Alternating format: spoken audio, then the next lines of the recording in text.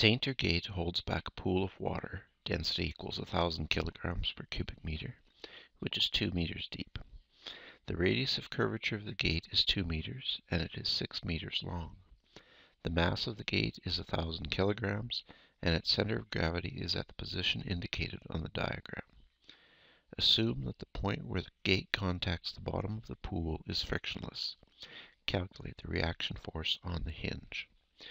So we'll use the diagram that's given here as our given information.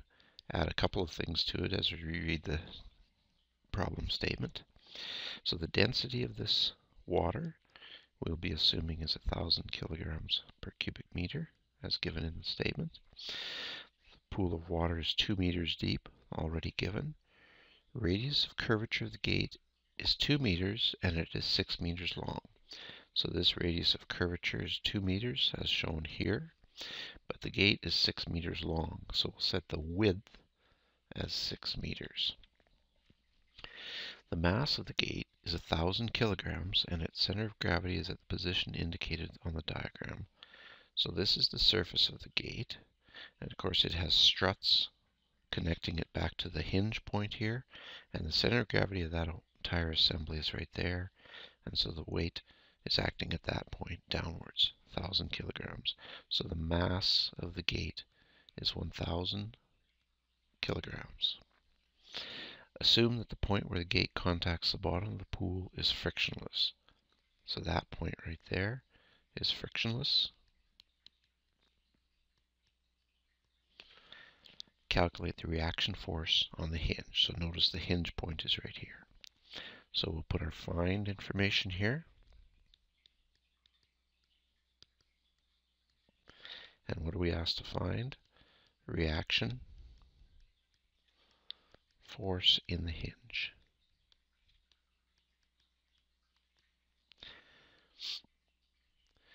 So the reaction force right there. So the way we want to start this problem is with a free body diagram of the gate itself and look at all of the forces that are acting on it and from that develop a solution strategy to figure out what this force is in the hinge. So we start off with our assumption list.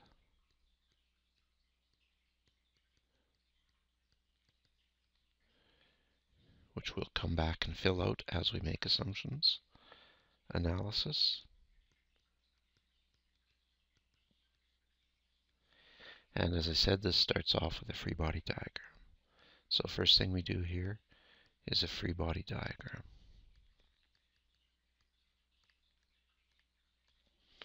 So we draw our gate. And I'm also going to draw the struts that connect it back to the hinge. So the hinge point right there, and that's the surface of the gate. So what are all of the forces acting on this? Well, remember that it has a weight that acts from that center of gravity that's given. So that's the weight. There's certainly a reaction force at this hinge, which I'll call R sub H, reaction at the hinge. And notice I just draw that as a vector. It's a force acting at the hinge. It may have two components, it may have one component.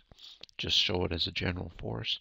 Our solution will tell us how many components it has and how big they are.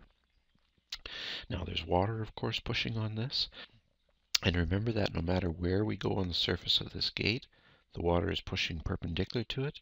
So the water is, the resultant force is going to pass through that point. So I'll just show the force of the water as F sub S, the force of the fluid on the surface. Now also remember, because of the way the water acts perpendicular to the surface, there's zero moment around this point. So I'm not going to show any moment on this gate, just the force acting on it. So we've got our reaction force, we've got the force of the fluid acting on it, we've got the weight, and we're going to assume that this hinge is frictionless, so there's no moment in the hinge at all. Don't have to show a moment there due to the friction. So first assumption is a frictionless hinge.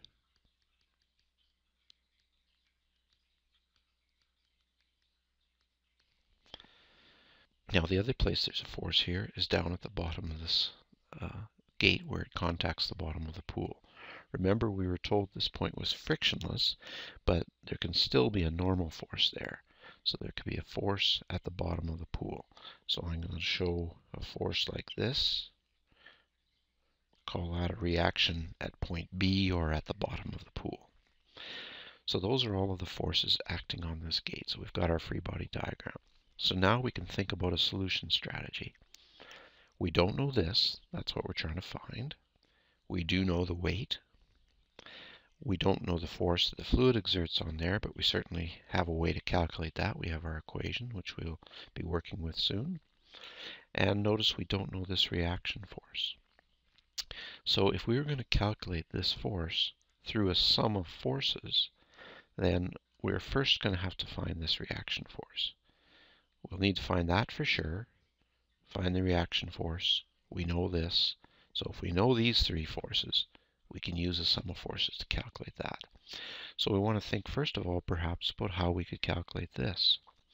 Well, if we take a sum of moments around this point, that reaction force is not involved.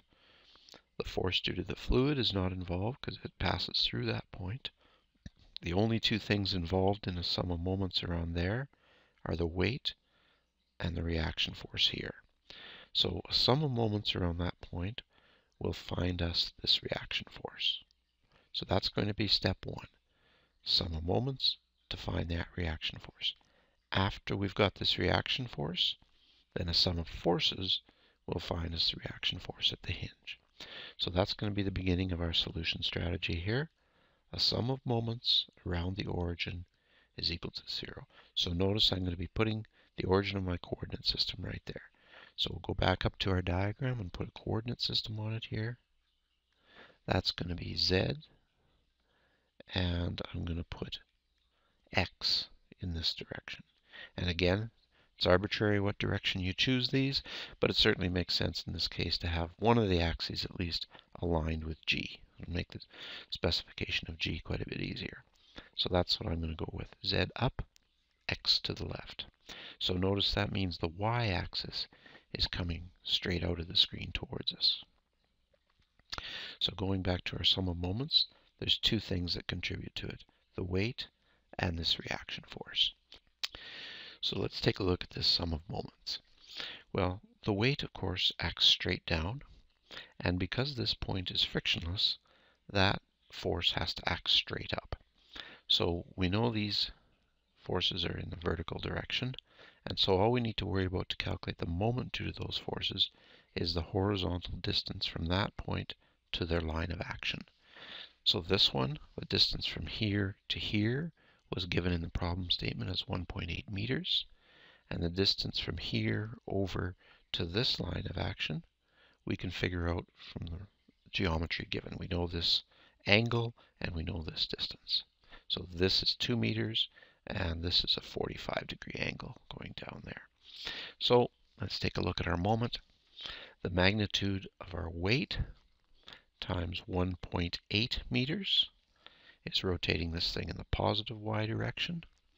And then the reaction force at the bottom here is rotating this thing in the negative direction. So minus RB. So notice this is just the magnitude of force RB. And this horizontal distance is going to be 2 meters, because that's 2 meters, cosine 45 degrees, because this angle here is 45 degrees. And those have to add up to 0. So our reaction at B, so the reaction at B is going to equal 1,000 kilograms that's the mass. We're calculating this weight here times g, 9.81 meters per second squared. So m times g is this uh, weight times 1.8 meters is this moment arm divided by 2 meters times the cosine of 45 degrees. So that reaction at B we can calculate out as 12.486 kilonewtons. And I want to express that as a vector in preparation for when we do the sum of forces. So the reaction at B expressed as a vector is equal to 12.486 K kilonewtons. So notice it's in the positive Z direction. And so I put a K in there to give it its direction. And we know that has to be purely a vertical force because there's no friction at that point, so it can't have any horizontal component. So while we're here, we're also going to express the weight as a vector in preparation for doing our sum of forces. So again, that's 1,000 kilograms times 9.81 meters per second squared. So that's just mg. And this is in the minus k direction. So that weight expressed as a vector is negative 9.81 k kilonewtons. So we have our weight and our reaction at B ready for the sum of forces. So that we know and this we know. So we can calculate this force and we're ready to do the sum of forces. So now we turn our attention to calculating that force.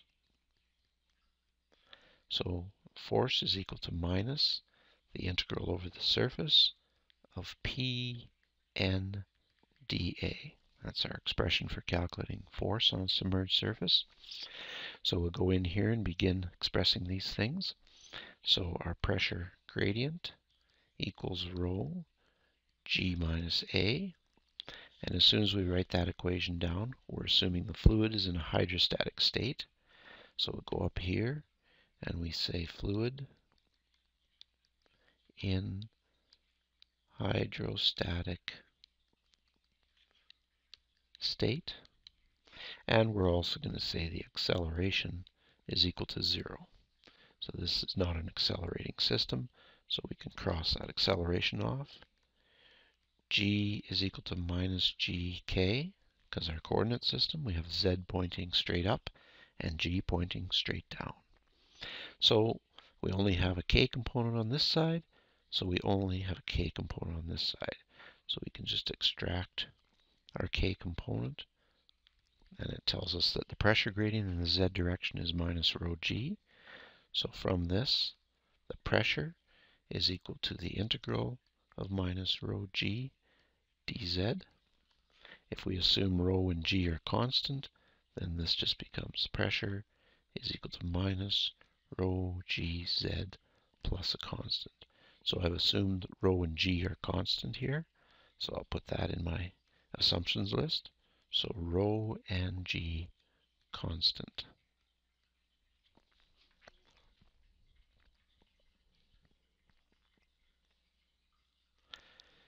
Now we solve for the constant by taking a look at our diagram and seeing if there's a z position where we know the pressure.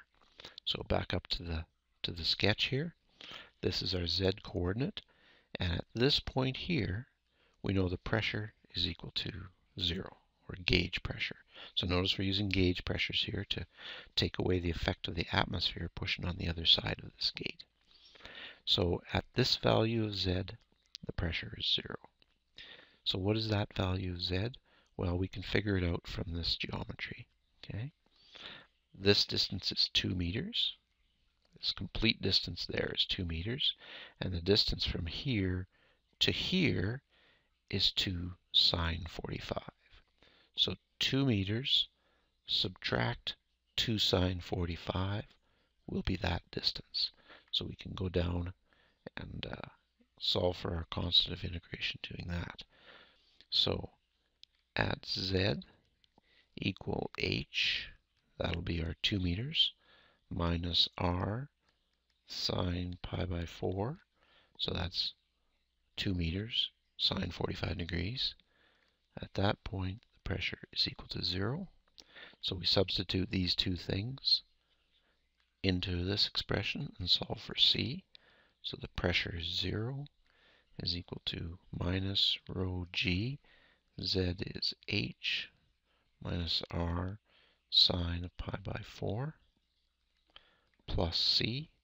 So therefore, c is equal to rho g h minus r sine pi by 4.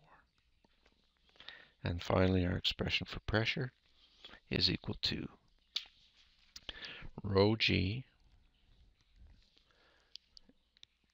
h minus r sine pi by 4 minus z. So pressure is a function of z. All of this stuff is just a constant. Okay, so it's going to be along for the ride, but it's just a constant. Of course, we know rho and g. So that's our pressure. The next thing we see in our force integral, we've got an expression for pressure, is a unit normal. So we want the expression for the unit normal. Now, go back up to the diagram and notice the unit normal is always perpendicular to the surface, projecting into the fluid. So no matter where we go on that surface, it's projecting into the fluid and it's perpendicular to the surface. So in this case, because it's a curved surface, the unit normal is not a constant. And the most convenient way to express this unit normal is to set up a coordinate system here just for the purpose of integrating on this surface, which is an r theta coordinate system. So I'm going to define an angle here, theta, which is measured from the positive x-axis and it increases in the clockwise direction like that. We're actually free to define this theta however we want. We can define theta equals 0 wherever we want, and we can define positive theta any direction we want, as long as everything we do after that is consistent with that choice. So what I mean by that is if that's the way I'm going to define theta, then my unit normal here, and I'm just going to write it down here so we can look at this diagram while we're doing it, the horizontal or the i component of that is going to be cos theta in the i direction and the vertical component will be sine theta in the k direction. So those are the two components of my unit normal. And notice this already has a magnitude of 1. Okay. So we'll just uh, put that down here.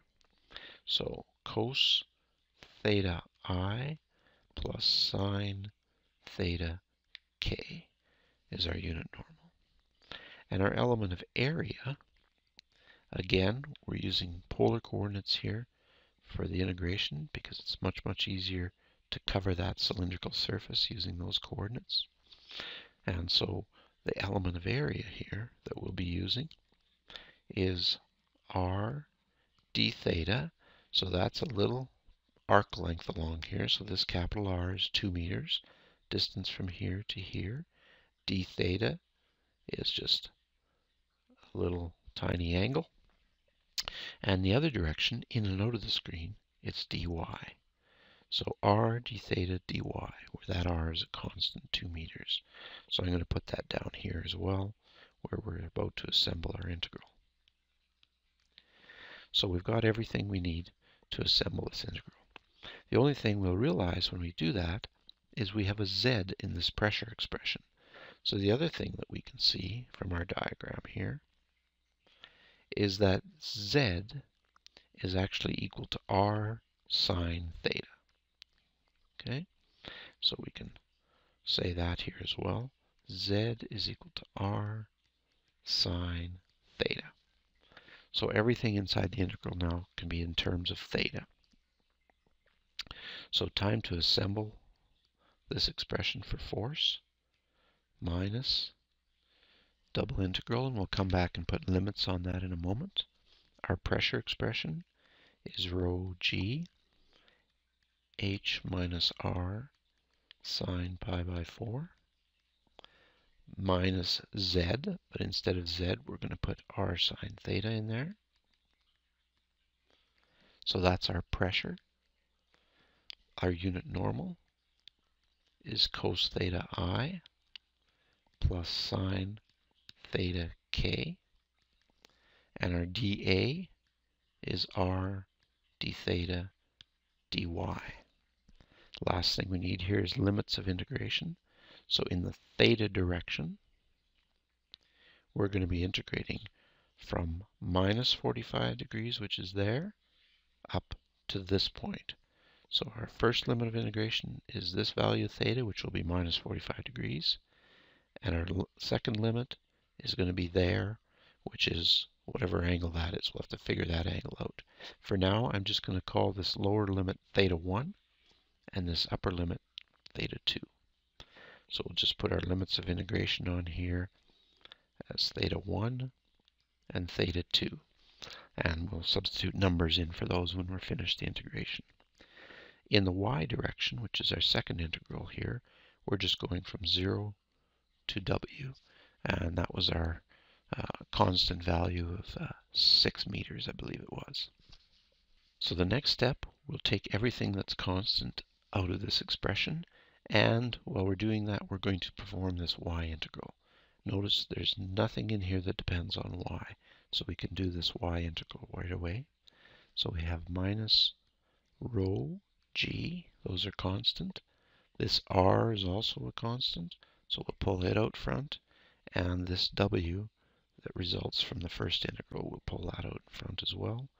And then we have our theta integral from theta 1 to theta 2 left to do. And I'm going to just start to multiply this out. So notice what we have here. We have two terms here, a constant and one that depends on sine theta. And we have two terms here, a cos theta and a sine theta. So we need to distribute that out to see what all of these terms are. So h minus r sine pi by 4 times cosine theta i plus sine theta k. So multiplying this first term by that minus, I'll distribute that into those two, r sine theta cos theta i minus r sine squared theta k d theta.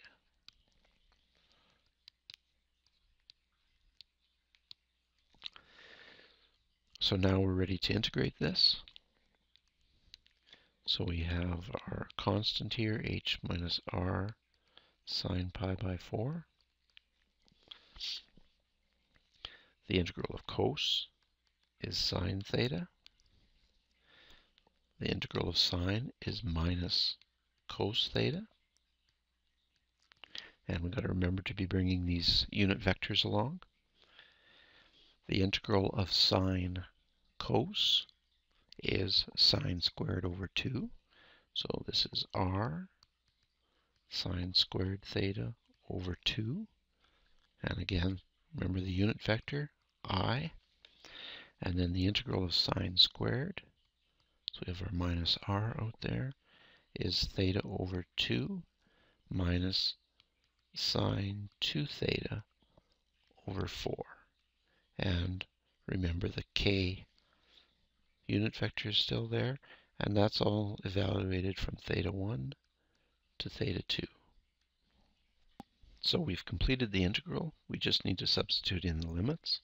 And when I substitute in the limits, I'm also going to gather together all of the i components and all of the k components. So notice we have an i component here and here, and a k component here and here. And I want to gather those together so that we can express this as a vector with two components. So still have constants out front here. And so h minus r sine pi by 4 times First of all, this will be sine of theta 2 minus the sine of theta 1. So I'm substituting in the limits here. Minus r over 2. So it's this part. So notice I'm gathering together here everything with an i in it. So that times that has an i in it. And this has an i in it. So minus uh, r over 2 sine squared theta 2 minus sine squared theta 1. So all of that stuff is in the i direction. Now gather together the k component and substitute in the limits, and I'll start that over here. So we have r sine pi by 4 minus h times cosine theta 2 minus cosine theta 1. So notice that's this multiplied by that, but because there's a negative sign here, I've swapped the order of this to account for that negative sign. So that's what this is, minus r over 2, theta 2 minus theta 1. So that's this term right here. Notice that is a k component as well. Plus r over 4. So now I'm working on this part sine 2 theta 2 minus sine 2 theta 1. And all of that is in the k direction. So we have an i component gathered together here with the limit substituted in, and the k component all gathered together here with the limit substituted in. Now, remember this expression is giving us the force that the fluid exerts on the gate. Now we actually know everything inside of this equation. So I'm just going to list those things out here. The density is 1,000 kilograms per meter cubed. Remember, we need that right out front here. G, 9.81 meters per second squared. R, radius of curvature of the gate, is 2 meters. The width of the gate is 6 meters. The h inside of here is the depth of the pool of water, and that's also 2 meters. Theta 1 is our lower limit of integration, so let's go back up to our diagram and remind ourselves what that is. That's this location here, and remember theta is measured uh, 0 in this direction, positive increasing there, so this is actually negative 45 degrees. So theta 1 we'll put as minus pi by 4. Theta 2, we need to be a little bit more careful about getting theta 2. Again, we'll go back up to our diagram here, and I'll just clean this up a little bit. That is our theta 2 right there. So this angle is theta 2. And that distance is 2 meters. And this distance we actually already calculated when we looked at the calculating the constant in the pressure expression, that distance is 2 meters minus 2 sine 45. So in other words, that distance minus this distance is that one. So we can get that theta 2 from an arc sine function. So this will be arc sine of the opposite of that triangle, which is h minus r sine pi by 4 divided by the hypotenuse, which is just r. So everything in here we've already listed numbers for here. So this calculates out to 0.29725, and that's radians. So everything that we need to substitute in this equation is listed here. So that force due to the fluid on the surface works out to minus 117.7 I plus 52.80 K kilonewtons. So let's just go back up to our diagram and see if the sign of those makes sense. Remember, this is the force the fluid exerts on the gate. So we have a negative I component. So certainly this fluid is pushing in the negative X direction and a positive k component. So it's also pushing upwards or in the positive z direction. So now we've got the force of the fluid. We can do our sum of forces equals zero. And we recognize all of the forces acting on this. The force of the fluid plus the weight of the gate plus the reaction at the bottom of the pool, RB, plus the thing we're trying to find, the reaction at the hinge, all of those things have to add up to zero. So the sum of forces is zero. So we can calculate the reaction in the hinge as being minus the force the fluid exerts on the gate, minus the weight, minus the reaction at B. And we have expressions for all three of these things expressed as vectors that we can substitute into here. And I have to remember to change the sign of them because of these minuses. So the reaction at the hinge is equal to 117.7 I minus 52.80 K, so that's negative Fs, plus 9.81 K, so that's negative W, minus 12.49 K, that's negative RB. And all of those are in kilonewtons. So finally, the reaction in the hinge is equal to 117.7 I. Notice this is the only I component. The rest of these are all Ks. Minus 55.48 K. And both of those components are kilonewtons. So that's the reaction force in the hinge, or the force that the hinge exerts on the gate.